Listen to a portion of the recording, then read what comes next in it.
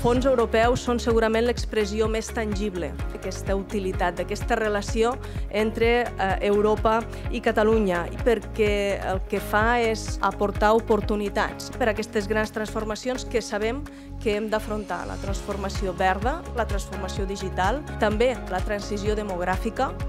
Aquests fons són una oportunitat per definir aquest present i aquest futur, amb tots els reptes i totes les crítiques que també hi hem de posar.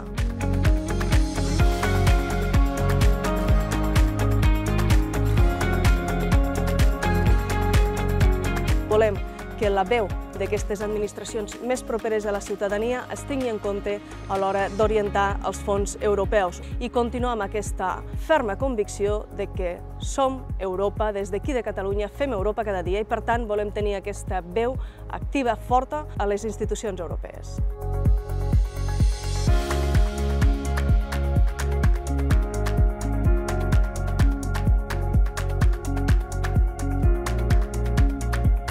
Gràcies a aquest cicle, demostrem també aquesta capacitat de ser aquest soci fiable, aquest soci proactiu al projecte europeu, en el que hem recuperat aquesta màxima interlocució en aquest any i mig darrer, amb més de 10 reunions amb comissaris europeus, i Catalunya és i serà sempre plenament europeista. I el proper 9 de juny, també en les eleccions europees, ho tornarem a demostrar.